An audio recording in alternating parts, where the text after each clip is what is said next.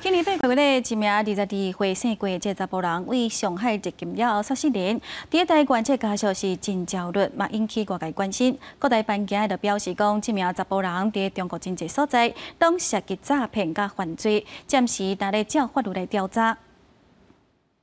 八月二十七日抵达大陆之后，涉嫌在多地实施。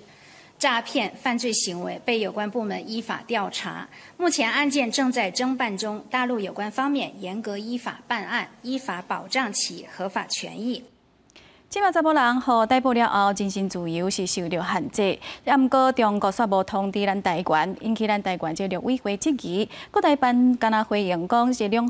花协议咧执行受到影响的在原因是大家拢知知。另外最近嘛有一名即个大叔的主管，逼出即个伊去中国了后好留置。即个大叔伫十九就捌发声明表示讲，公司也个伫了解，暂时员工的身体平安、行动自由，来配合中国来调查。